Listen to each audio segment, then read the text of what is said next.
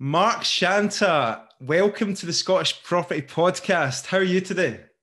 Not too bad. Thanks for having me, Nick. How are you? Good, good. Unfortunately, we don't have Stephen. He's missing in action, so it's just myself and you, mate. But obviously, we go back a long way. I think we've known each other probably for about eight years now. And uh, do you remember the day that you met me?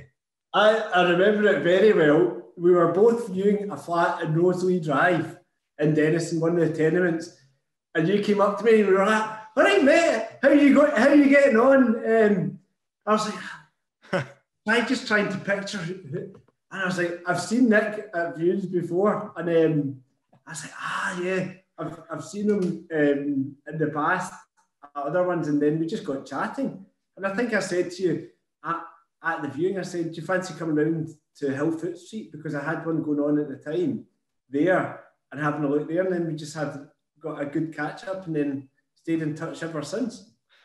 Well, you, you know me, mate. I'm never missing an opportunity to to network. So do you know what? I just talk to everybody, even on viewings. Most people just ignore me or just kind of like think that I'm a bit strange. But you just never know who you're going to meet, and obviously that's led to a pretty long uh, friendship and relationship. And obviously we've got a WhatsApp group going and all the rest of it, which uh, uh-huh. has been has been great. And it's to be honest, mate, you've really kind of spurred me on in my own business and that. And obviously, you took the lead um, as a letting agent.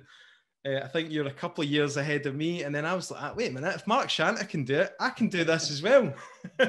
yeah. So, no, there's a lot to be said for that, for being that outgoing. Um, like just going up and speaking to people and at, at viewing, because I kind of take the, the same sort of view as you do it. It's like, there's more than enough for everybody to go around. So why is every why when you're doing viewings, when you're looking at making offers, why is everybody always so candid? Like go out there, just be yourself, and that's what you did. And then uh, here we are, eight years later, still talking about flats in Roslea Drive and Hillfoot Street, and now on to lettings and sales and stuff like that. It's brilliant.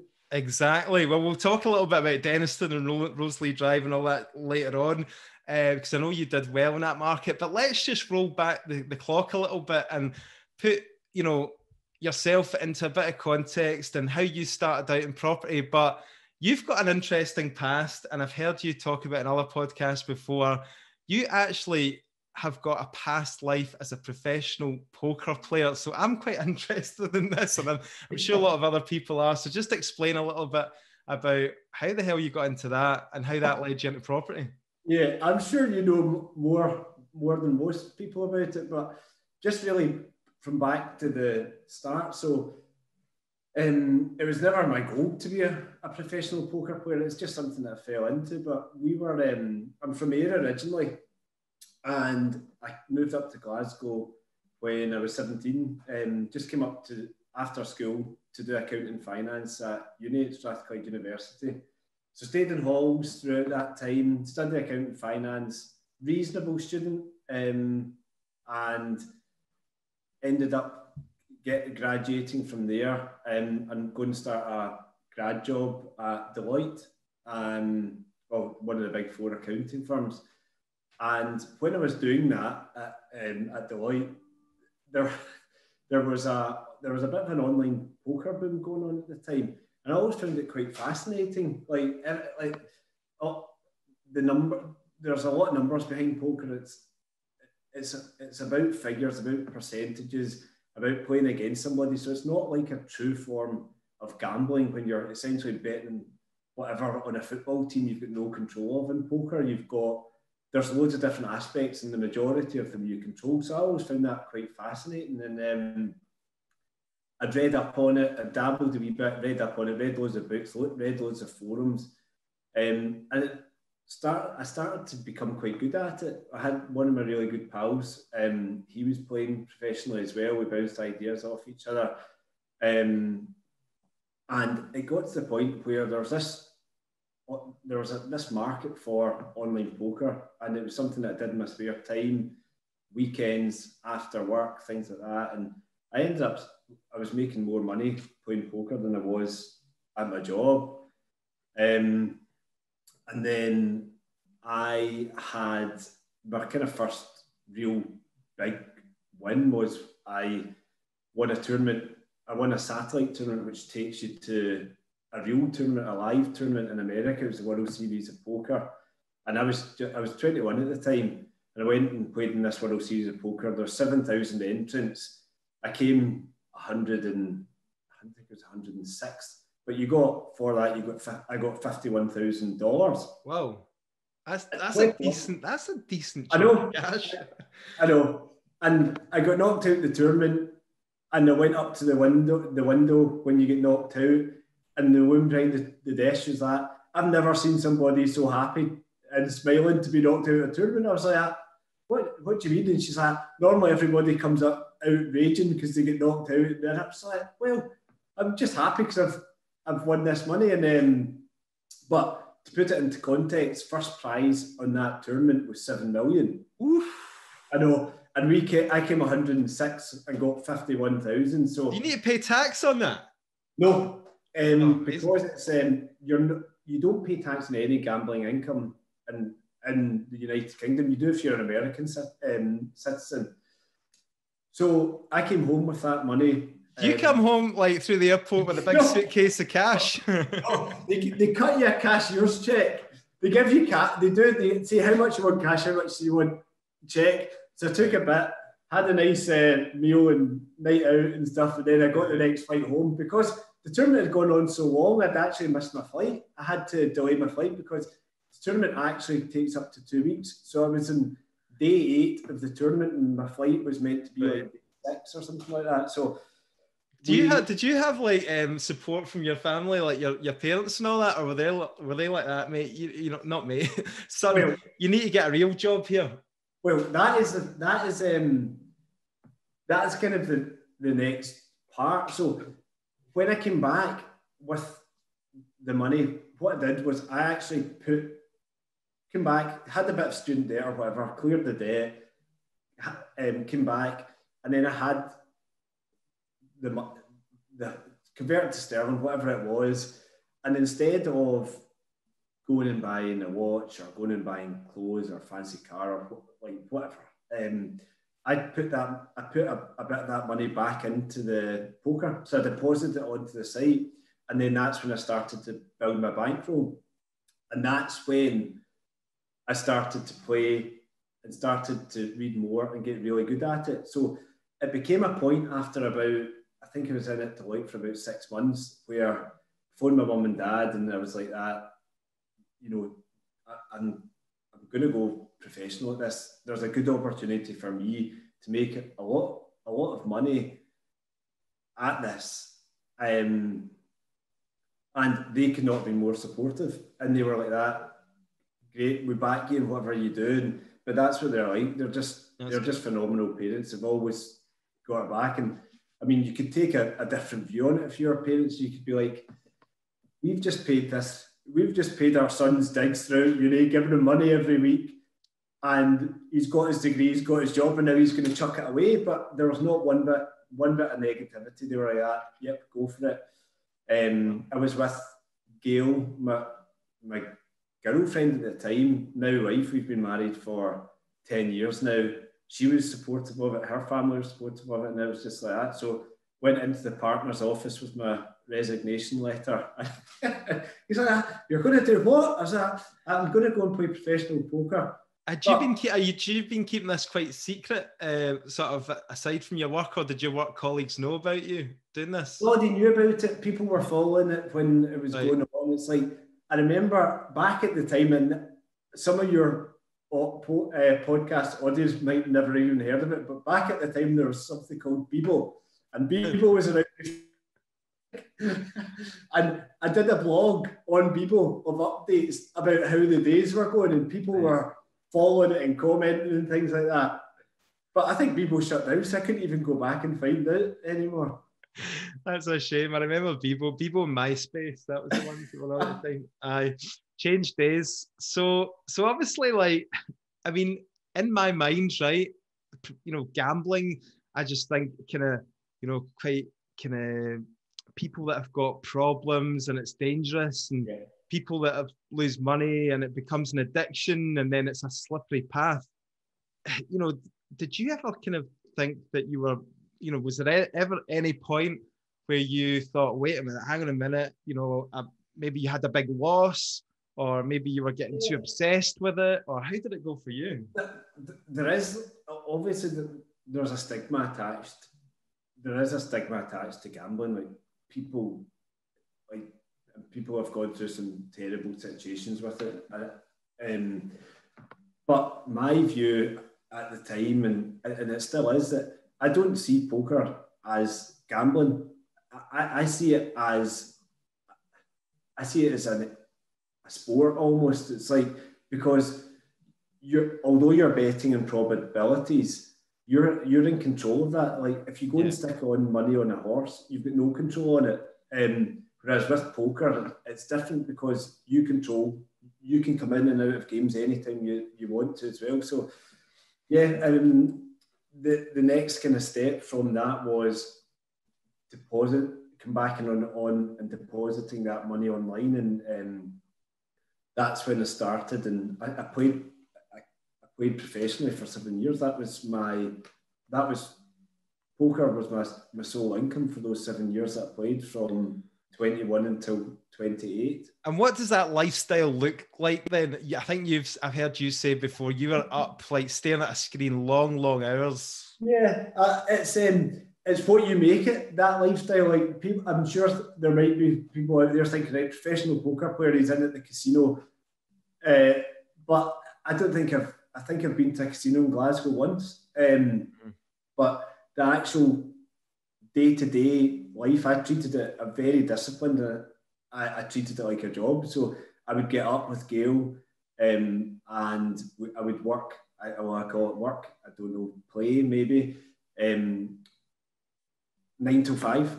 I'd take a break, go to the gym, go for a walk, go for a run, whatever it was. Um, and I would play online and play up to six screens at a time, um, and that was my jobs. And it, it allowed me and it gave me a great base to kind of start um, life with. Um, and I, am not saying that I'm set for life or anything like that, but certainly set me up. Um, and it was a calculated decision. There is loads and loads. I had some amazing experiences, amazing times. Like I think I've been to Vegas playing tournaments about 15 times, Australia a couple of times, um, the Caribbean a couple of times. I played a tournament underwater at the Caribbean. I had to go and take scuba lessons. We got a boat out into the middle of the sea in St. Kitts, and we took we all scuba dived to the bottom of the, the ocean. They set up like a table with stones uh, and stone um, cards as well, and we played the tournament. It was all filmed and stuff. So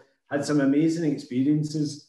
Um, the downside of it was one, the, the, the I guess the kind of lack of social interaction at your workplace because you didn't, there was no interaction with work.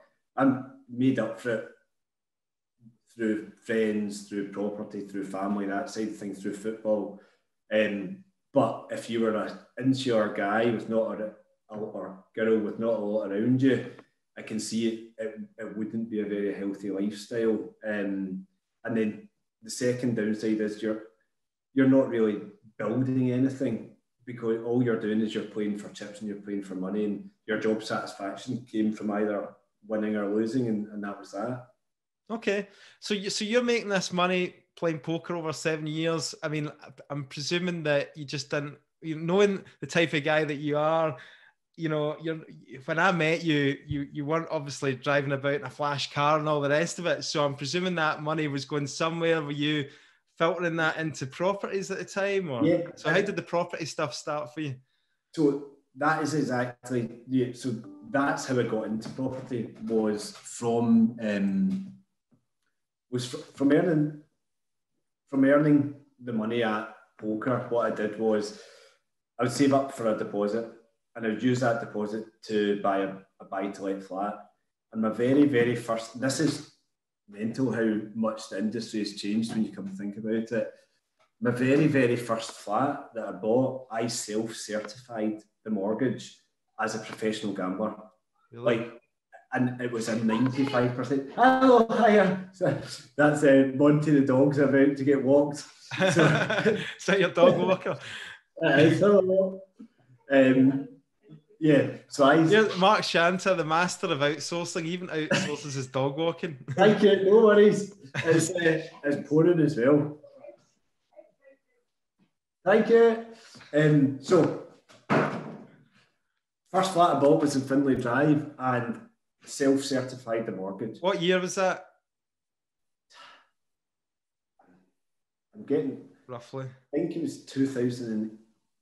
I think it was 2008. All right. Right around crash time. Might be 2009. I mean, it didn't. It didn't perform particularly well. We, we don't have it anymore. We sold it. Um, it didn't perform particularly well, but first flat I bought was in Finlay Drive, self-certified the mortgage as well. And as a professional gambler, it's just like now mortgages have gone that complete other way. It's like you know, we would have no chance of getting a more, any form of mortgage with that. So, what my strategy was was play poker for a, some a period of time, earn enough for a deposit, buy a property, um, do do it up, um, rent it out, move on to the next one. Um, we didn't pull out the funds or anything like that because we didn't we didn't need to. I say we because it was myself and my wife, Gail, but we didn't need to release, we didn't need to do money in, money out or anything like that because we were there was another deposit coming um, down the line. So that was a strategy and kind of fast forwards seven years, what we had done, we built up, we had um, we bought to a year, it worked out exactly. So we, bought 14 um, buy to lets in that time period. And it was all they were all all in personal names, all joint with myself and Gail, and and that's how we ended up getting around getting the mortgages as restrictions got tougher. We were able to use Gail's salary. She had a steady income, full time. She did exactly. Good employed, right? Okay, that's so, that, no, that's really interesting though because I'm thinking timelines here, and obviously you started just about when the crash happened, and then obviously, you know, I think you've obviously timed it quite lucky in terms of during your buying time of buying two a year, you're pretty much buying when things are were pretty low then. Yeah, and it was true. And there's definitely, definitely an element of luck to it and to the timing because I was quite uneducated at the time. I was just like, right, I know Dennistoun because I stayed there when I was a student and we live there now. So let's buy around Dennistoun. The, num- the numbers seem to work there. And we bought the first flat I bought was Finlay Drive, and we bought Craigpark Drive, Roslea Drive, Hillfoot Street, Ark Lane. These little pockets in Dennistoun, and they've just performed phenomenally over the last 10 years. But then the flip side to that was we made a kind of educated guess that we thought, well, you know, Dennistoun's quite a good demographic. It's a mile from town. It's going to perform well, continue to perform well. And why don't we look south? And so we looked at Tradeston, thought that would perform well, and it just never has. It's just we bought a, flat in Oxford Street for a hundred, and then we sold it maybe seven or eight, eight eh, seven years later for the exact same. So it just right. never had that growth. And how were you kind of educating yourself, or how did you kind of, you know, what kind of spurred you on at the start? Because obviously, like a lot of people now they come across something on Facebook or YouTube, but we didn't really have that back then. So was it was it somebody that you knew that had done this? Did you have a friend who invested in property or something? No, not really. I, I guess it was just kind of reading up on things, um, reading up and doing your own due diligence, meeting people like obviously like yourself, like met you and you're like you're like what are you doing? I was like, well, what what are you what are you doing? What's the uh, you know? And that that's the way it was done. There was so there was a lot less content back then, and and it was just yeah, it was just kind of meeting, just just kind of meeting different people and making your own kind of judgments on it. Cool, good. Um, so obviously you built up that portfolio that that did pretty well obviously because you you invested in really kind of great locations that that boomed over that time such as Dennistoun and all the rest of it um you were still doing the poker at this time, what was it that that eventually what was that? Can you remember that point where you decided, wait a minute here, I don't want to do this poker professional uh-huh. poker playing anymore? I, I, remember it well. Actually, it's like I would, the throughout the time of playing, there was ups and there was downs, but I've, I've always been quite a, a level-headed and sort of calm person. Never really let it affect me too much or anything like that. And it, yeah, it was just we were. I just kind of viewed it as the longer term, and I remember. I, I remember it. We were living in Giffnock at, at the time, and things just hadn't been going that great. And I was just like, ah, do you know what? I don't want to do this anymore. I I I want to go and I want to build something else and, and do something else. So as you do, you, you speak to your wife and um, speak to Gail, supportive as always, and phone, phone your mum. So phone mum, she's like, I'll come up and we'll have a chat and we'll take the dog for a walk. And mm-hmm. um, she came up and we had a walk and a talk, and I was like, I, am not going to do this anymore, mum. She's like, good, get out while you can. Everything's going great. And I like, well, what do I do now? Because essentially, you're seven years, no no qualifications, You've got a degree, and mm-hmm.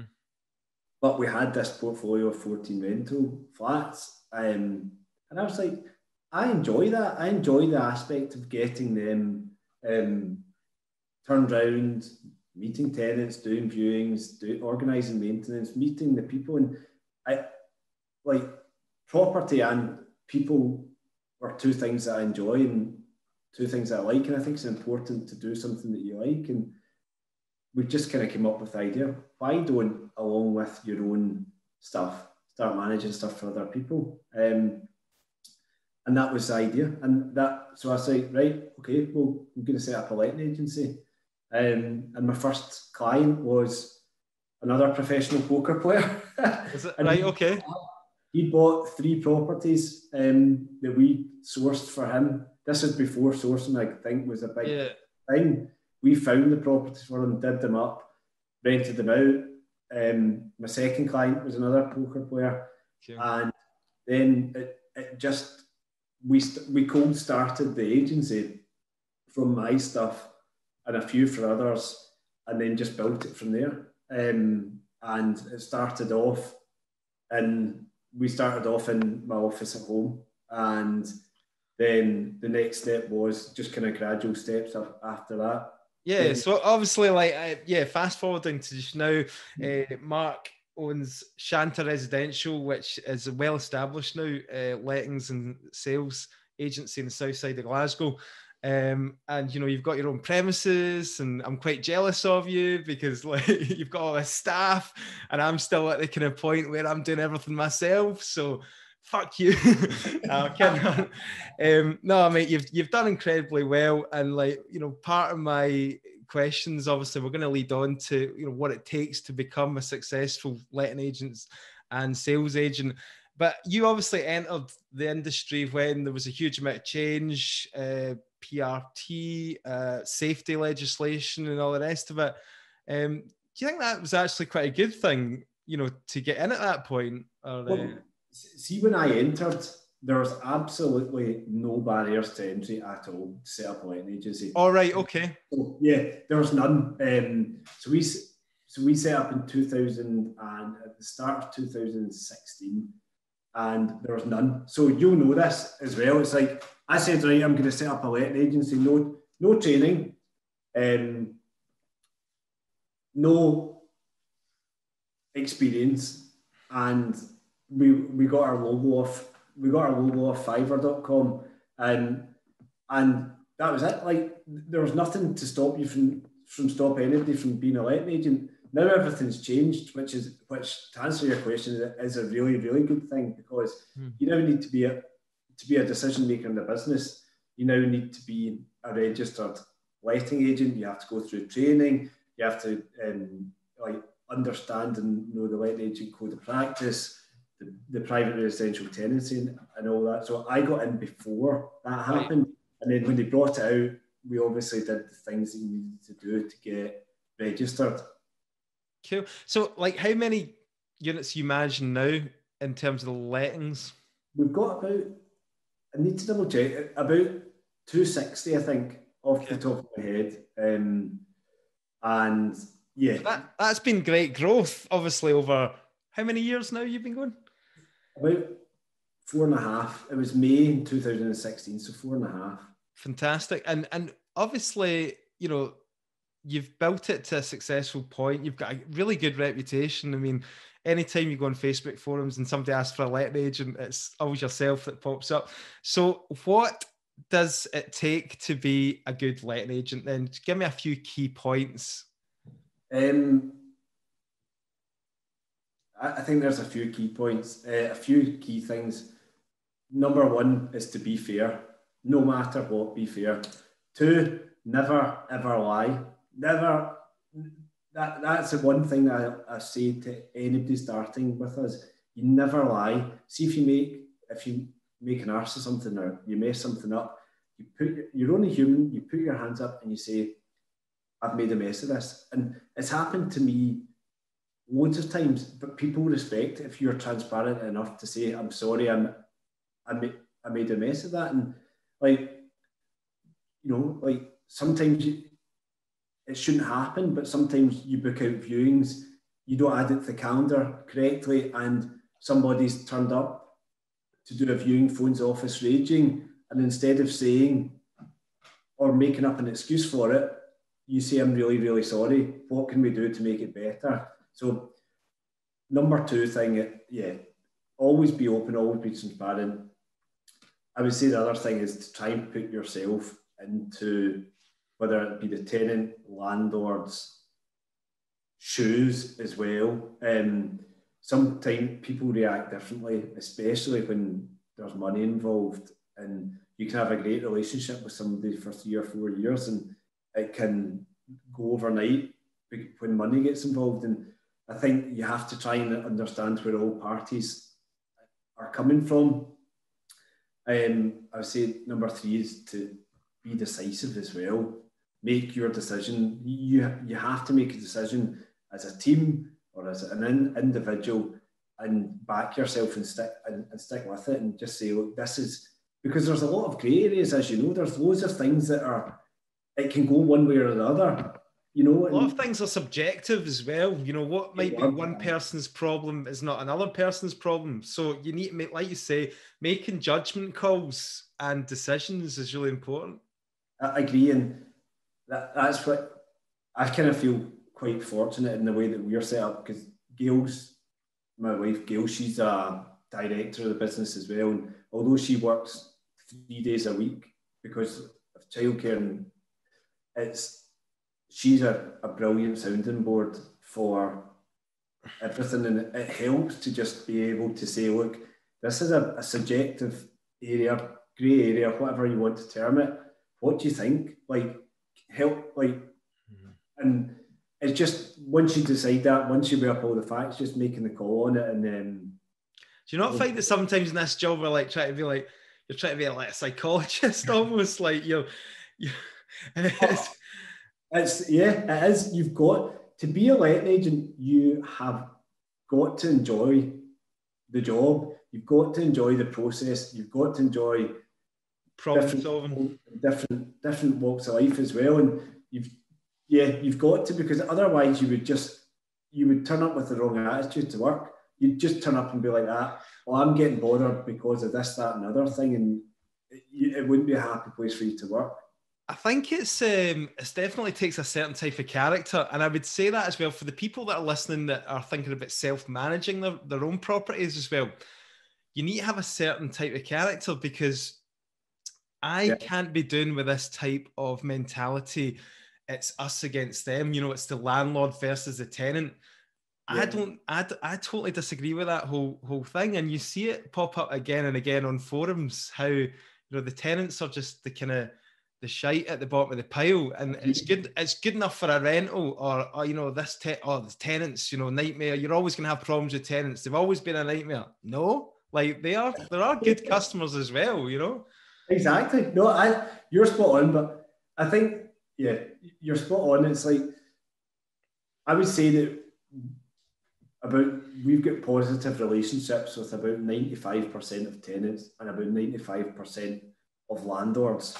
And the other 5% have been through disagreements and from each other not being able to see each other's point of the other side's point of view, and, and that's fine because it, but it doesn't make them the bottom of the pile, whether it be landlords or tenants. It, it means they just don't disagree with yeah. what our judgment is on, on our yeah. I think sometimes, obviously, there's got to be compromises, and there's got to be like you've got to draw the line somewhere, and you're not going to pander to every request as well from the tenant because, you know, obviously, ultimately, you're serving uh, your client who is the landlord too. So, but you need, like you said at the right at the start, you need to see it from both sides. I think that's hundred percent. And you're um, the reason why I think you're a, a good letting agent is you do that, and you've got particularly thick skin as well. You're you're just like that. Well, you know, if they're having a go at me and they're saying that that's not good enough, then you know. I think it's a fantastic. Yeah, I think it's fantastic with all the new uh, letting agent code of conduct and all the regulations. I think it's brilliant because it takes away the kind of a lot of the grey area and it makes it easier for us to follow procedures. And as long as we've done this, that, and the next thing, and we've done all we can, then obviously there's only so much you can do. And then, you know, as long as you've done your bit, then hopefully you don't get into trouble. Yeah, exactly. What do you think? What do you, you know, loads of people want to get involved in property, right? But they always just see the kind of the end result. And a lot of people might not necessarily be willing to put in the hard sort of yards at the start and the hard work. Um, you know, there's a common theme that, that I see developing in uh, people who are either estate agents and letting agents. A lot of them seem to be quite successful property investors them, themselves. So, what about seeing that as a route into property for young people? Do you see that as a kind of decent way and, and what, what do you mean? So, getting involved in property first? So, so yeah, I mean, a lot of people, you know, they're wanting to be the successful property investor but they uh-huh. want to just fast forward to the, the kind of riches, but a lot of them don't even have money to put down on a first deposit or anything like that. Do you think that almost a career or experience in, in lettings and sales can could be a good could good good good ground grounding? Yeah, I mean, without a shadow of a doubt, it's like any experience letting sales property when you're going out seeing different properties, you're meeting different tenants, you're seeing different locations, then it's a good thing. But what I was just thinking when you're saying that is there's obviously different paths, and neither of you or I went down the corporate path, and that is quite that is quite a, a normal way to get into the industry to set up your own lettings as a sales agency. It's like you come from one of the big, you go you go in as a trainee, you work your way up to letting agent, negotiator, manager, then you might be area manager, and then you're like, I can go and set I'll go and set up myself. So that's quite common that, that that people will set up in that way, and they come with tons of experience.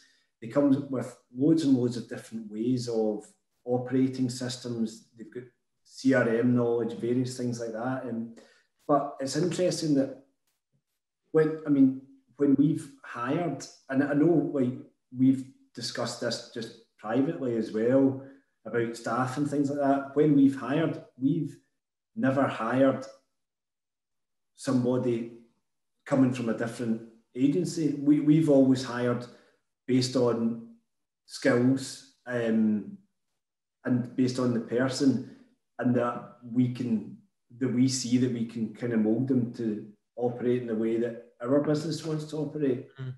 You know. Yeah, absolutely. I just think that that just get yourself out there. If you're, I'm just thinking if you're a young person uh, Say you've got somebody and you've got like a load of savings and you've got a load of cash, and obviously it's not really something for you. You can get straight in there. But if you're just out of college or something like that, and you want to learn, you know, without having to pay thousands of pounds to go on a course, or you want to be about people that are profit investors or that, okay, you need to deal with a fair amount of shit from tenants and all the rest of it and mm. people complaining at you. But getting out there and especially in the sales as well, I think that you're building relationships with people you're getting used to dealing with different sorts types of people you're building your network you're understanding how the process works you're meeting surveyors possibly you're speaking to surveyors you're you know that sort of thing i think and eventually um, as you and me know you know deals can come to you like off market deals, for example. Yeah. Um, if you're building relationships, then you've potentially got investors. I'm just thinking about something to give the younger listeners there. Yeah, I well, I agree. Uh, so I think that yes, if you want to go and be a professional property developer or investor, then working within the industry it can only help. And yeah, you know, it's like I don't think if you, I don't think at an early stage that being just a developer or just an investor, it would fill your it would fill your day enough. Like you would be left underutilized because you can't go to eight viewings a day mm-hmm. and study eight home reports a day without eventually burning out. I think if you're thinking about getting into the industry and you're wanting to go down and to be a developer or build your buy to let portfolio, then working in the industry, I agree. Yeah, that to me that seems like a no brainer. Cool.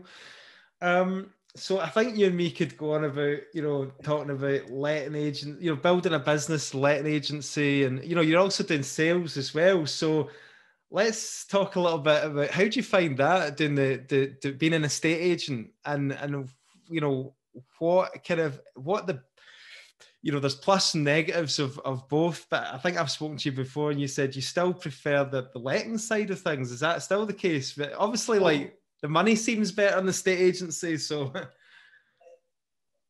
it, it does. It's like the, the two businesses work hand in hand absolutely perfectly because you know letting agency say in terms of income it's very very steady. It's like one of the few professions I know. It's like your clients are almost on as long as you have their property rented out. Their clients or your landlords they're on a retainer because they pay you commission off the rent. So, yeah. I mean, nobody will be able to see me doing my hand with the graph if it's a podcast, but it's like a straight, steady line. Whereas a state agency income is very cyclical. It's very up and down, up and down, and things things are great this month for us. We've had the, the record number of completions this month because how many? I'm not in, in the period. I can find out, mate. I'll go on my Rightmove yeah, well, uh, plus account and I'll find out. but in the in the period of June and July, when we've come out of lockdown, there was a massive, massive big boom, and you're taking on so many, so many um, new instructions, and there's so much activity. Everything was selling, selling well at closing dates. Three months down the line, it's November everything's completing. But the reality is now we're in November, things are really, really quiet, whether it be market forces coming towards the end of this year, um, it always quiets down towards the end of the year. Buy to let, pro- uh, sorry, mortgage products are getting pulled, they're taking longer to complete. Um, there's a lot of uncertainty about people out there, whether or not they're even allowed to do viewings, which they are, but there, some people may not want to, some people may be in isolating. So the market now in Dece- November, December is really quiet. So when it comes down to March time, February, March, our income is going to be down. So it's yeah. up and down, up and down. And I, I don't think I would like to be just an estate agent without the lettings unless I had a really, really strong foothold in the local area. Unless we were one of the like, you know, you, you, you almost, to use a kind of Americanism, dominate your, your patch and it doesn't matter where, it doesn't matter what month it is, you're going to have tons and tons of listings. And yeah. that may come, that will, that's a goal of ours to come, but it's not the case now. I, I, to be honest, you know this already, but I struggled with the state agency thing. I, I took out a six month Rightmove subscription, and I talk, I've talked about this in the past, but it wasn't within my personality to go into like a shit property and talk it up, you know, and, and make it basically polish a turd. Like I find that very difficult, and I'm too honest. And well, that's spade a spade, basically. That, that's it. Yeah, basically that's me. And uh, like I know you've got a system probably where you've got people who who are doing it. So maybe you know uh, your advice might be you know maybe you can find somebody who can do that sales job better almost. I, I do a lot. I do a lot of valuations myself, and do you? like like my kind of strategy is I don't build up your unrealistic expectation ever. I, I never do, and I don't say like if I was going to value a property today, I wouldn't say to them, "Yeah, no bother. Your home report's going to come in at this, and it's going to sell at a closing date." That's um, just setting you up for failure, isn't it? It is, yeah. and you're you're setting yourself up for an, an unhappy client down the line, and just because you you might win the business because you fed them all of this stuff at the start, but it, down the line they're not going to be happy. And I, I, I'm kind of similar, maybe maybe a bit less than really, really calling a spade a spade, but I, will be honest with the expectations yeah. and um, you know I, am certain that I've lost valuations because I've not been um, all singing and all dancing when I don't think it's appropriate. No, I like I like your approach. I like your approach definitely. Um, so let's just talk about right. Let's get your investor hat back on yeah. and let's talk about like what you're doing at the moment. Uh, you know, put the lettings and the sales business aside. And I know you basically sat out the market for a while because you were so focused on building the business. You wanted to put everything into that, and it's obviously paid off. But you've recently just sort of come back in uh, and you're investing again. So tell us what you've been up to. Yeah, so yeah, you're right in what you're saying. It's like for the last three or four years, the sole direction, my sole focus is building up the letting, the sales, and everything's into that. Um, and it's almost taken me this amount of time, like the last four and a half years, to get into a place where I feel like we're fully systematized, we're fully staffed and operational, where I can sit at home now and happily chat away to you, chat away, like go and have, like I can sit and but you've still not got enough time to walk your own dog. That's disgraceful, mate. It'd take me an hour to dry off after it. um, so I, I feel like I've got I've I've got a bit more time back now. Don't get me wrong, the number one focus is always, always going to continue to build up the, the business. But I've got a bit of time back now and what we've done this year is myself and a partner of mine I know it's like partner seems like a really, a really unfair and strong word because he's like, you know, really, really good pal of mine. And um, this is your business partner, right? Not your life partner. partner. Just, in, just in case people are get, just in so, case people are confused that maybe aye. Gail's off the scene now. You've got a new partner, and it's a he. business partner, stroke best pal. Like yeah. we, we talk like, and he is plumbing and heating engineer. So he's got a really, really strong, good skill set. He's amazing at his own job. And we kind of came up with the idea that why don't we pull resources? Like, because, you know, we obviously, there's a lot of, there's a lot of trust and between us and we're great pals and all the rest of it. But our skill sets match where we, we've got a letting agency, we've got a sales agency, we know how to find the properties. We um, we know what an end result of a development looks good at, and he Ross does this day in day out, and he's got a real good attention for detail. He knows what he knows at the end result what he wants property to look like, and we just work well together. So we sounds like a perfect relationship, mate. It sounds like a perfect JV. So TV. Yeah. you put a, you put you put a post on the Scottish Property Podcast group like just last week or something. It's one of the most like engaged posts we've ever had. It had like 120 likes or something like that. Um, you know, loads of people commented on it. Really, really nice refurb. So just you know, it'd be probably useful for the listeners and they can go back and check that in the Facebook group. But just give us a brief. Can you give us a wee breakdown of the numbers? Because I think it will inspire people that yeah. there's still deals to be had out there. You know. How did you How did you come across the property to start with? Well, actually, this one is a funny one. It's um, the owner of that property. So the property is in Clarkston Road, and it's round the corner from our shop, like five minutes walk. And um, the owner of the property walked into our shop, and he said, "I would sell her. I would sell my flat quickly. Do you have anybody? Do you know anybody who'd buy it?" I wasn't in. Um, I was probably walking the dog. the dog walker had a day off. no, I wasn't in. And Katie, who's our sales manager, she said, "Oh, uh, Mark would Mark would look at that," um, and she set me up an appointment. So I went out to see it, and I said to him, "Look, if I was valuing this house to sell, we would be like we would value it at um, X amount, and the home report would come in at X amount." Um, and then I offered them. I said, "Look, but we we if you wanted, we could we could buy this for." So I, I don't mind saying now, but the home report would have come in at fifty, and we said, "Look, if you wanted, we could buy it for forty-five, and we could complete within three or four weeks." Um, it's up to you because like because we can do one or that other. And he said, "Yeah, that's great. Just do that." And I think we completed it in two and a half weeks.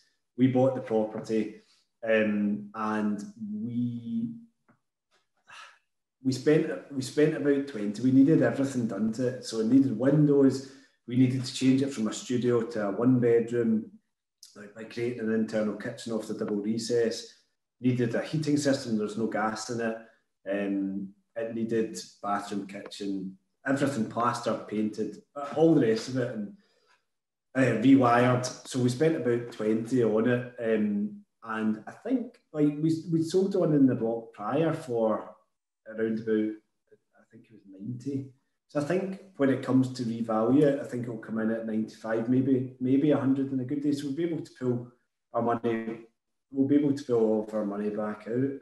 Perfect. And obviously, you did a post in that on the Facebook group, so people can go and check it out. But um, I think there's a few things to take away. First of all, all the people who are complaining that there's no deals about, obviously, we appreciate it is a tough market, right? We know that. But there are still people out there that are wanting like quick sales, or there is yeah. the occasional off market property that comes up. And I think I really like what you said about you were fully upfront with the guy in terms of you said, look, you could get this, you know, or, or it would value at that. But this is what if you want a quick solution. I think that's really key when you're dealing with the um, the off market stuff and the direct to vendor because you could easily uh, start getting a bad reputation. You've got too much to lose. Yeah, hundred percent. And the other thing was the we got a home report done on the property as well. Um, well, he independently got a home report done, and yeah. the home report came in just what I had valued it at. So I said, look, I value it at 50. And he got a home report, and that home report, through his contact, came in at 50. And he had the facts in front of him where he could either sell it through us or a different agent on the market or um, accept less than the home report value and, for a quick sale. And I, I guess that is, yeah, that basically that there is those sort of deals. Obviously, there's an element of luck involved in that, yeah. but I think you make your own luck. And- yeah, it's not it's not every week. You know, somebody walks into your shop and says that. So you know, it's um, yeah, yeah. exactly. It's happened once in four years. and I've told your staff the next time somebody comes in like that to give me a call. So was that you who dropped off the brown envelope into the office? totally, totally, hundred percent. No, it's uh, it's quite inspiring seeing posts like that um, from people who are still doing deals, um, and it sounds like a great partnership with your mate as well. But obviously, like I think you've got so much trust there from it's a relationship that's been built up over what years, yeah. 30 years. Do you know what I mean? So it's again a thing that we put down people's uh, throats on the podcast all the time. If you're going to get involved in some sort of joint venture, then make sure it's the right person. You've done all your checks, you know. Or I think kind of partner, like partnerships for everything, is you know partnerships for anything that you do in this industry. That they're worthwhile doing and they're worthwhile investigating because obviously, like you're what, what you're doing with Steven, you guys have got a brilliant partnership on the podcast, and that, whether would that work as well if it was just if it was just you or just Steven. I don't know. He's fucking let me down today, hasn't he? yeah, that's true, actually. We've, we've, done. We've nearly got to a full year of podcasts, and you better have a good excuse. I'm telling you. well, I know. Um, yeah, partnerships are, are key. Whether I think it's been in your own in your own workplace, like you know, you bouncing bounce things yeah. off your partner, whether it be your wife, your friend, even you know people that are invested in you and you, you, you trust in. So I, I, think it's more than that, but I think again, I do think a key part of it, as you were saying, is you don't just go into partnership with somebody that you don't know that says that they can mm. come up with half the cash. I think that's where we've seen over the years it turn into disaster. Uh, yeah, I mean, don't get me started on that. That as well as people just popping up left, right, and centre on your Instagram or your LinkedIn and then just disappearing. So, but we, we won't go down that route because that's quite that's quite negative. We keep it positive and we'll end on a positive note. So, what are your goals, your strategy? You know, personal and when I say personal, I don't mean like your family life. Then I mean like your your personal personal investing and your business where do you see yourself in five years' time? Pick um, on the um, spot.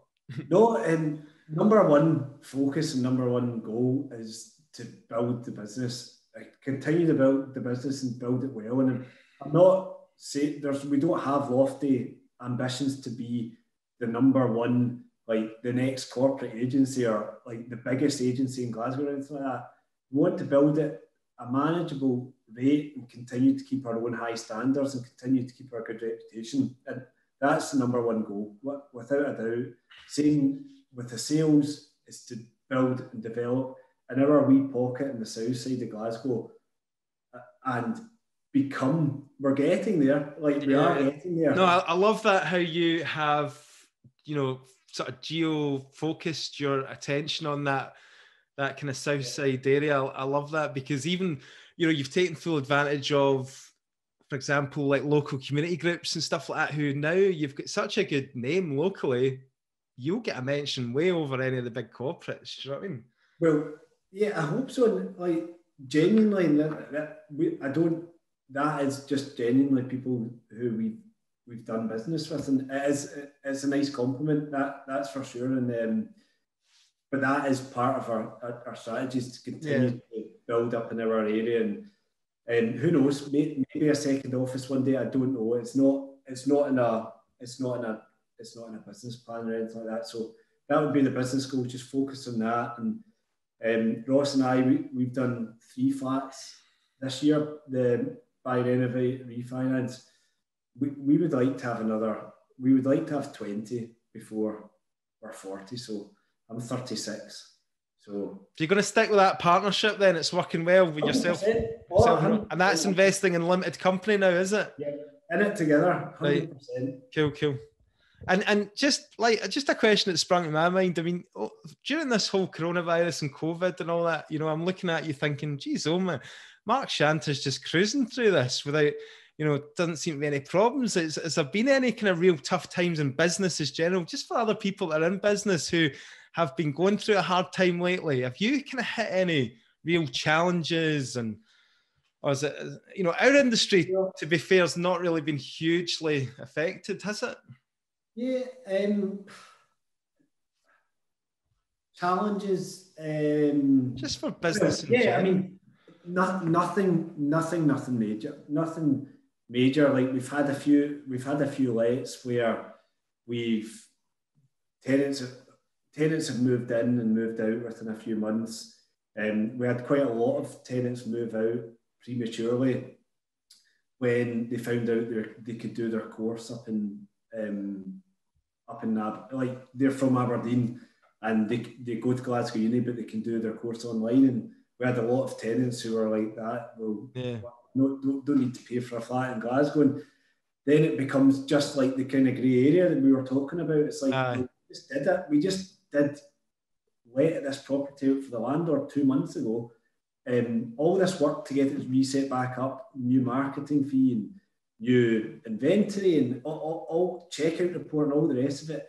It's not our fault. We didn't reference the tenant poorly.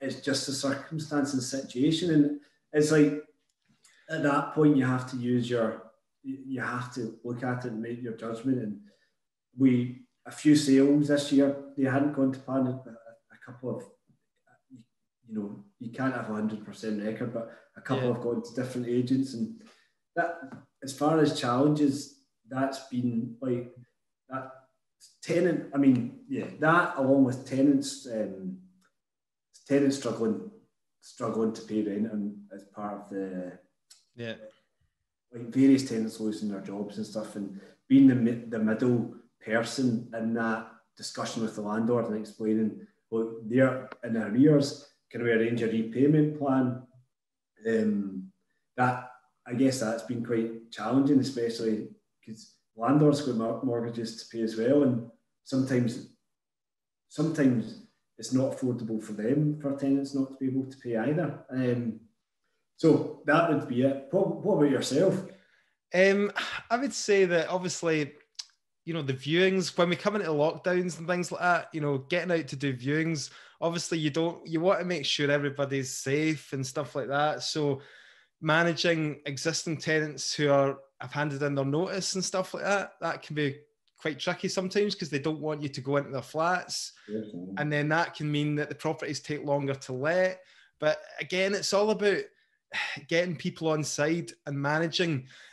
I think if you're a corporate agent and you're just hitting out these emails basically saying, you know, this is what we're doing here, and you're not really giving the tenant the feeling like they're in control, then yeah. they're going to ultimately put up uh, blockage and they're not they're, they're automatically just going to go against you. And i think that's what happens a lot of the time. That's where people say oh my tenants are a nightmare. I think it's about like the agent managing it. Like i get on really well with my tenants. I try and understand it all the time from their point. I use whatsapp like voice messages as well. I think sometimes with voice you can get your your um, you know you can get empathy across using voice whereas an email can be quite cold sometimes. So it's about getting the tenants on side and most of my tenants are allowing me even at the moment when we're in uh, severe restrictions in, lo- in tier four of lockdown they're still allowing me to go in and do viewings. So yeah i think it's about overcoming that that's it, mate. Um, lastly, to finish off, uh, where can people get you? Do you want to just give us your details, website, email? Yeah, uh, it's just Mark Shanta. Um, imaginatively named uh, Business of Shanta Residential, if anybody. um, and it's Mark Shanta. Um, we're on, um, we've got Shanta Residential Facebook. It's mark at Shanta Residential email .co.uk. Um, and yeah. you're getting you're getting better at the Instagram. I've got to say, you're starting to put on your uh, your projects and stuff like it's that. Not. Like I've still never done one when it's um, the you know, like a talking to one. Of, yeah, exactly. Uh, I've never done one of them, but yeah, like showing some projects and stuff like that. So I'm on Instagram as well. Um, it's good. It's good. All right. Well, uh, listen, really appreciate your time, Mark. know you're a busy guy. Uh, you're that busy that you don't even walk your own dog, which is like, I'm not going to let you away. I'm not going to. I'm not going to let you away with that one. And uh, thanks very much for being on the podcast. And I think listeners will get loads of value from it. So I appreciate it. I just say one thing, mate. Um, brilliant. This your podcast, Steven. Absolutely brilliant. Massive fan. Listen to it every week, and um, forum as well. It's just, yeah, you're doing absolutely brilliant. So, well oh, done. you're bringing a tear to a glass eye, mate. Cheers and see you later. Yeah, bye.